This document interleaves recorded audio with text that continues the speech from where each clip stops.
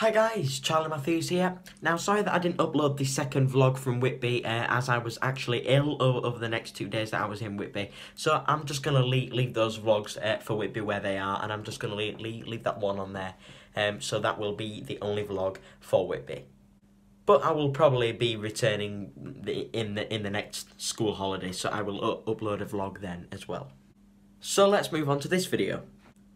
Today is going to be an iOS tutorial video, and if you and if you're not really interested into this, uh, then please check back in a couple of days, and you will see a normal scheduled video.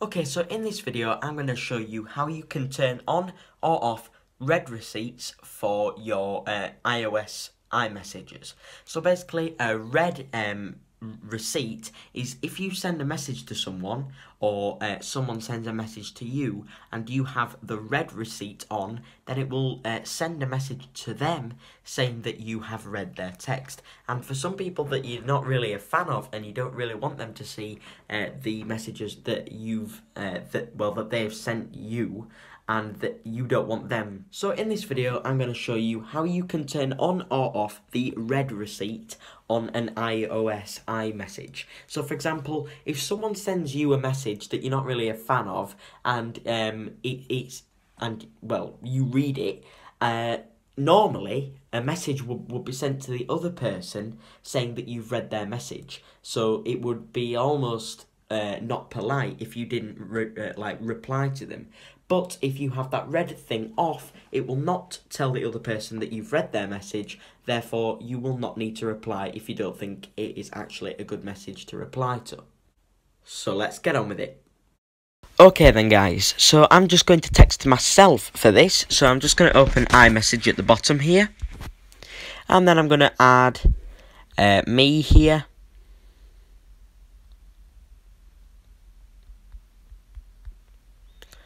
So Charlie Joseph Matthews. And then I'm going to send myself a message. So uh, I'm just going to send a message saying test. And I'm going to send that. Now, um, it will come up there as read. So it says read at 2138. Um, so I've sent that to someone else and they um, have obviously read it. And it says read on there. Now, to, to stop this from happening, you need to click on the little I there, the information, and then click on send read receipts and turn that off. Click done, and send another message, and then it should say delivered. Okay, so if I uh, then turn that back on, if I send another message, it should go back to the read.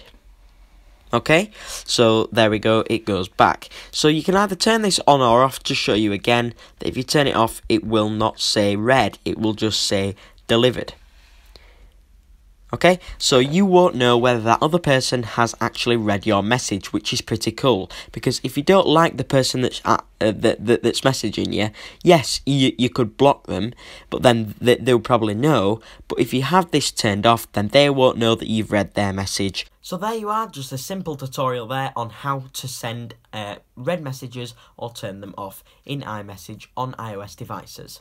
So if you like this video then please leave a like on the video and please subscribe to my channel for more content as I will not just be uploading iOS tutorial videos, I will be uploading a lot of things like vlogs, I've got a lot of things coming up on the channel like drone footage that I've been gathering.